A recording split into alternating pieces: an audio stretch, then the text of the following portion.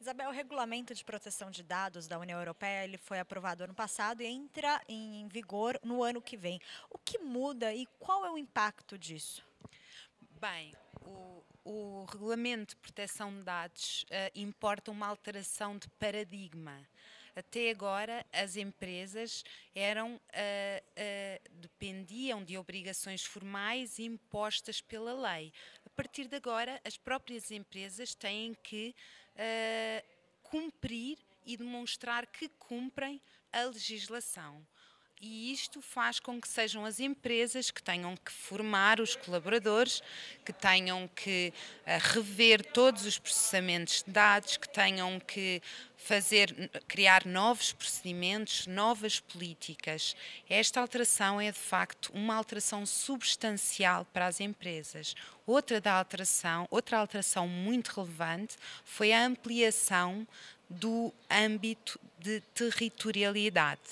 Uh, se até agora a legislação era apenas uh, aplicável aos estabelecimentos dos responsáveis do tratamento das empresas ou dos operadores estabelecidos na União Europeia, a partir de agora, qualquer empresa que ofereça bens e serviços a cidadãos residentes na União Europeia ou monitorize o seu comportamento, qualquer empresa no mundo está sujeita à aplicabilidade do Regulamento Geral de Proteção de Dados.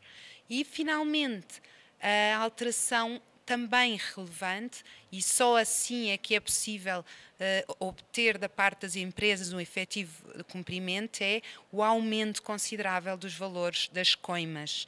As coimas passam de cerca de 30 mil euros para 20 milhões de euros ou 4% do volume de faturação anual global da empresa do exercício do ano financeiro anterior. Obviamente. Portanto, de facto, há aqui, da parte da União Europeia, uma necessidade de um cumprimento efetivo da legislação, da proteção dos dados pessoais das pessoas, para que os direitos, liberdades e garantias e o direito da pessoa a dispor do seu dado pessoal seja efetivamente cumprido pelas empresas. Nessa parte da contability, uh, como está a formação das pessoas, né, desse Data Protector Officer? Uh, as empresas já têm, já existe esse profissional no mercado? Teremos, é, é uma pessoa que tem qual formação? É, é, é, uma questão muito interessante porque uh, o regulamento exige que a pessoa em causa seja experiente em proteção de dados, que tenha conhecimento da legislação, mas que também tenha conhecimento do negócio. Estima-se que sejam necessários 70 mil uh, Data Protection Officers na Europa. Ora, não há, não existe, ou seja, é um, e para além disso, o DPO tem que ser livre. E a liberdade implica que ele não pode ser diretor de IT, diretor de marketing, não pode ser destituído das suas funções pelo exercício das suas funções, portanto, não pode ser despedido por a, tomar aquela ou esta decisão, portanto, de facto, é um perfil difícil, pode ser externo ou externo. Em relação às empresas, as algumas delas, as que processam dados pessoais sensíveis, as que têm poder económico, os bancos, os hospitais, esses estão já com processos de auditoria em andamento. Já têm DPOs, já estão em processos de nomeação de DPOs.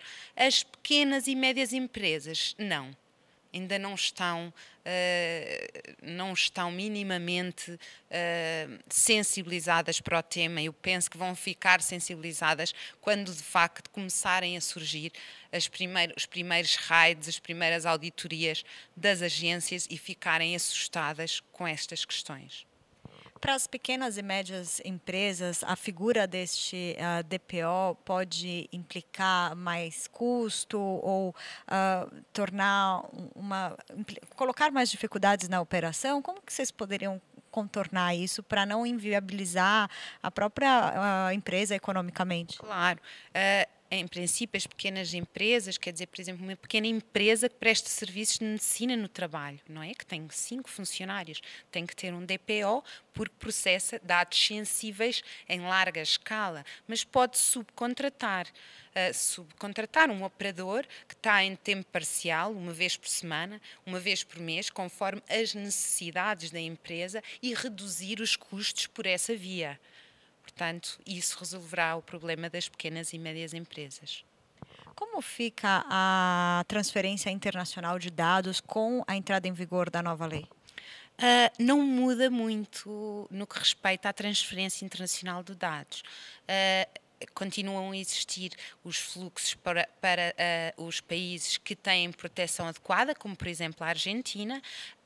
Uh, uh, o, o, para o Brasil, por exemplo, é necessário haver cláusulas contratuais tipo ou outros eh, aprovadas pela União Europeia, ou outros mecanismos que garantam de alguma maneira o cumprimento idêntico das normas, portanto, contratualmente que contenham disposições que sejam semelhantes às obrigações decorrentes do regulamento, portanto, e obviamente esses fluxos só podem existir se houver de facto um fundamento para existir, ou seja, consentimento, interesse legítimo do responsável pelo tratamento, cumprimento de uma obrigação jurídica e, e etc.